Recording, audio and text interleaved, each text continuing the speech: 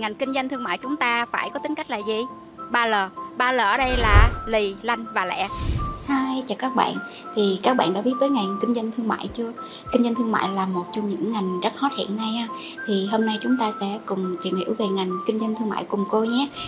Kinh doanh thương mại là một trong những ngành cực kỳ hot. Hôm nay thì chúng ta sẽ cùng nhau tìm hiểu ngành kinh doanh thương mại tại khoa kinh tế quản trị của trường Đại học Văn Hiến nha. Thì ngành kinh doanh thương mại chúng ta phải có tính cách là gì? 3L ba l ở đây là lì, lanh và lẹ để mà chúng ta có thể chốt deal được bán hàng nè trong quá trình chúng ta làm việc ha. Do vậy mà tính cách chúng ta phải là lì, lanh và lẹ. Bên cạnh đó thì những bạn mà overthinking đó, các bạn có đăng ký được không? Được nha. Các bạn vẫn đăng ký được ngành kinh doanh thương mại.